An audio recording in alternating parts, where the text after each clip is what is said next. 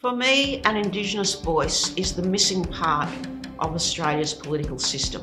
For most of Australian history, we've been denied a voice to have a say in our own affairs.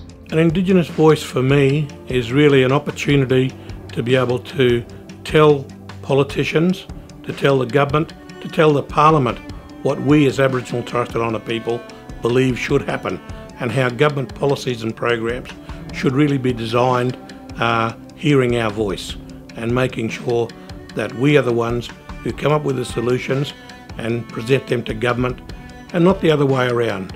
Personally, I want a more robust system and I want Aboriginal and Torres Strait Islander people to feel assured that their concerns are seriously considered by Parliament and by the Australian Government. This will affect whether or not we can close the gap on the many disadvantages that our people face in health, education, employment, housing, and so many other fields. It is time, now is time for the bureaucrats, the policy makers, the program managers to hear the voices of Aboriginal and Torres Strait Islander people so that the programs that are being delivered to us, for us, are developed by us.